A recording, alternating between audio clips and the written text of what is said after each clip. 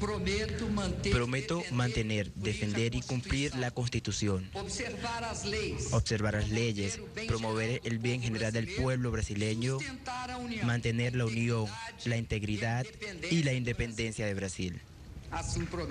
Lo prometo.